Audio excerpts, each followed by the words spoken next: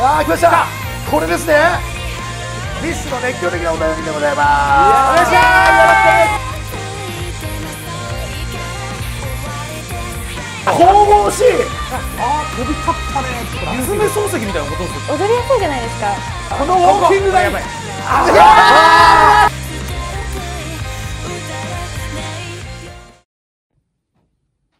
au スマートパスプレミアム presents 夜な夜なヲタ祭りをご覧の皆さんこんにちは。私たち BiSHです。はい。今回は BiSHの魅力を皆さんが語ってくれてるということで BiSHの魅力をお伝えしたいんですがはい、 BiSHのライブの魅力は何ですかね？と BiSHは振り付けをサビになるとみんな一緒に手を挙げてできることがすごいね一体感があっていいよね、はい。リそうですね。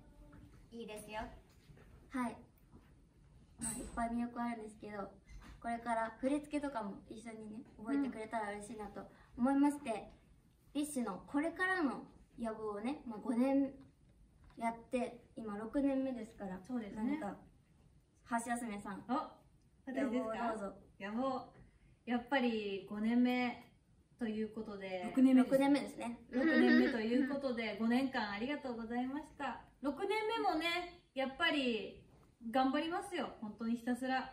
でやっぱ落ち着いたら海外なんかも行きたいですしいずれかいずれは東京ドームなんか行きたいなって思っておりますので皆さんよろしくお願いします。頑張ります。はい以上私たち BiSH でした